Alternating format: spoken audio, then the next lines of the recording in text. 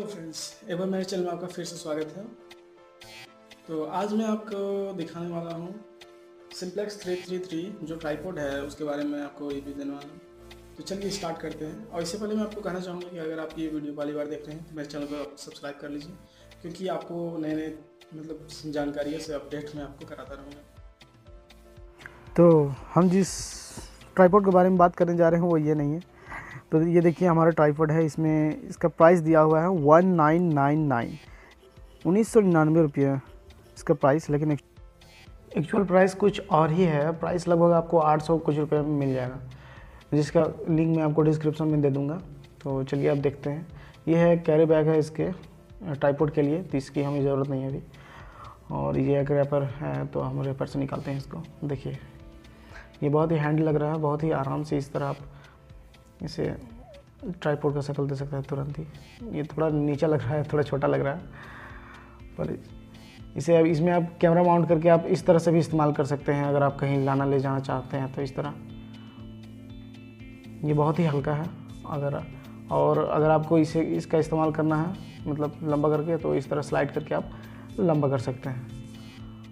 ये लगभग अब तीन फीट के करीब हो गया होगा। ये बहुत ही हल्का है एलुमिनियम का बना होने के कारण और हल्का होने के कारण ये बहुत ही हैंडलिंग में थोड़ा आसानी होता है। इसे अगर आप चाहें तो और भी लंबा कर सकते हैं यहाँ। ये थ्री थ्री थ्री इसलिए इसका नाम है क्योंकि ये थ्री फोल्ड के, के लिए है। तो देखिए इस तरह। इस तरह ये हो जाता है। लगभग अभी साढ़े चार फीट के करीब इसका हाइट हो गया होगा। चार के करीब। अगर इसे और भी लंबा अगर आप करना चाहते हैं तो ये स्क्रू को थोड़ा ढीला करके और इसे आप व्हील को घुमा के और और ऊंचाई मतलब और भी ऊँचा कर सकते हैं। लेकिन ज़्यादा ऊँचा करने पर यह थोड़ा सा हिलता डुलता है। इसलिए मैं कहूँगा कि इसे ज़्यादा मतलब पूरा टॉप पे ना निकाले पूरा। और ये हल्के कैमराज के लिए बहुत ही अच्छा है, लेकिन अगर वही, अगर हम कैमरा की बात करें, वेटेड कैमरा के लिए तो इसमें ये ज़्यादा मतलब वज़न के लिए में ये थोड़ा सा हिलता है। और कंपनी तो क्लेम करता है तीन हज़ार किलोग्राम आराम से मतलब तीन हज़ार ग्राम आराम से आप लोड दे सकते हैं, लेकिन ये थोड़ा सा हिलता है फिर भी। चलिए हम इसमें एक डी माउंट करके देखते हैं कि ये कैसा रहेगा।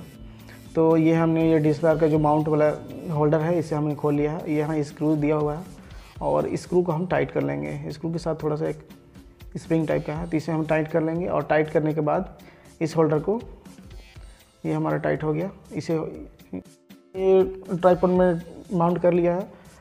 लेकिन ये बहुत ही हल्का है। एलुमिनियम फ्रेम होने के कारण ये बहुत ही हल्का होता है।